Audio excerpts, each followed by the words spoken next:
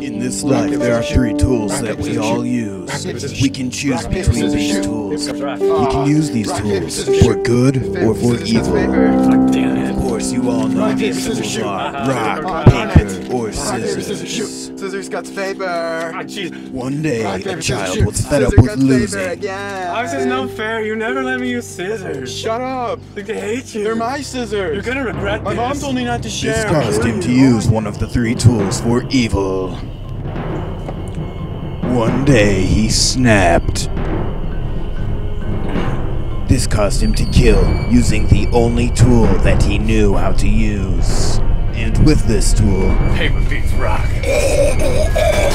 he killed. It was then that he decided that the only way he could win a game of rock, paper, scissors was by killing everyone who used anything other than rock or paper. Paper beats scissors this time. What?